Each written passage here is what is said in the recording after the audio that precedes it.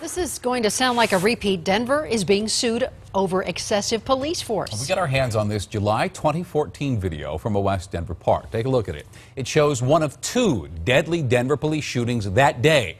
As Denver 7's Marshall, Marshall Zellinger shows us, a new lawsuit contends Denver police are trained to shoot too soon. Let's get this fact out there right away. Joseph Valverde, the man who's about to be shot and killed by SWAT, had a gun on him. You can see here he pulls out something black and drops it right in front of the car.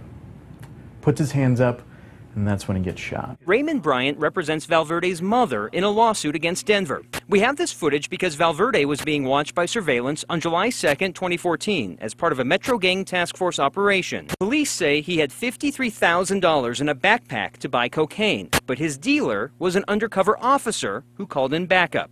You see a flashbang. The SWAT officers surround him, and that's when Valverde reaches for his waist. His manifest intent was to give himself up in this case. The officer didn't wait long enough to see that. Why shouldn't I think, yeah, the police did the right thing? He took a gun out. Because the gun wasn't used in a threatening manner. It's that simple. Denver police officers are allowed to use deadly force to defend themselves or others from what they reasonably believe to be the imminent use of deadly physical force. You don't see somebody raise a weapon or pointed at anybody. The officer who shoots and kills Valverde is across the vehicle, Sergeant Justin Dodge. He told investigators he saw Valverde reach down a few times. On the third or fourth pole, he saw a gun.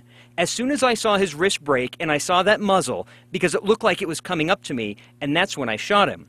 Okay, and when you start shooting, why did you shoot? I shot because I saw the barrel and I thought he was going to shoot me. When the officer says, I fired on him when I saw the muzzle of the gun, and you compare that to the video where Mr. Valverde put the gun out to his side and dropped it, I think you can see that this officer must have known he did something wrong. After the shooting, another officer told investigators Dodge was supposed to have had the less lethal 40 millimeter, a rubber bullet gun.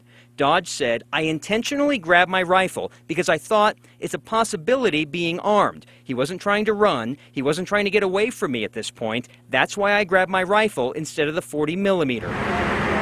Interviews with other officers reveal slightly different variations of what happened before the shooting. One said he heard someone shout gun. Another heard, show us your hands and get on the ground. Well, we have audio of the incident because a filmmaker shooting a documentary nearby captured the sounds.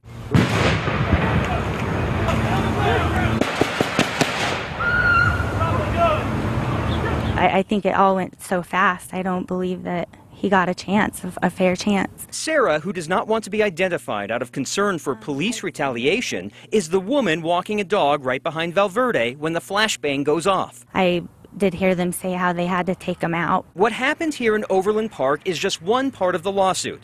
Hours after this shooting, Ryan Ronquillo was shot and killed in the parking lot of a funeral home. Surveillance shows his car boxed in. He backs the car over the sidewalk, grazing one Denver officer and nearly hitting another. Ronquillo, who was wanted for domestic violence and car theft, was shot and killed. And in January 2015, another deadly shooting. Jessica Hernandez was spotted in a stolen car in a North Denver alley. One officer said Hernandez drove at him at a high rate of speed, and that's when she was shot and killed. DPD changed policy to no longer shoot at a moving vehicle unless officers are being shot at. This lawsuit over Valverde's shooting seeks to change policy some more. The Denver police officers here, just like in the Ronquillo case and the Jessica Hernandez case, don't seem to understand what imminence is in an imminent threat. The Denver DA found all those shootings justified, but in the Valverde case, both he and the city's independent monitor had issues with the time and place of the shooting because of Sarah and other park visitors. We want to know where you stand on this. Is this excessive force or a frivolous lawsuit? We've posted a video on both the Denver 7 Facebook page and on mine. Let us know.